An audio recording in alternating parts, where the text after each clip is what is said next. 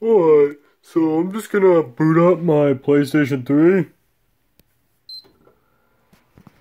Um, I believe I'm gonna play now, uh, this. This is a PlayStation magazine from the date of 2001. Here's the startup. This game is for the uh, original Sony PlayStation.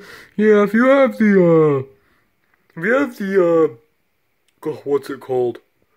Um, if it looks like it's very reflective, then you have the PS1, PS2 backwards compatibility. But if, if it looks like silver trim like I have, it can only play PS1 and PS3. So we're just going to insert this disc into here.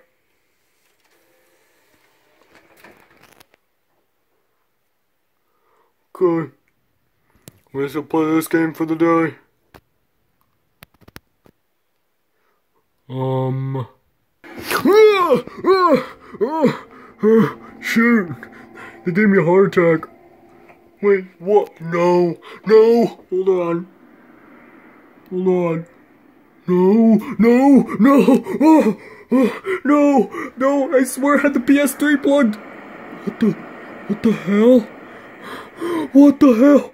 No, no, no, no, this can't be happening. No, no, no, I swear I had the PS3 on, I didn't have you on. How did this happen? What the hell's in here now?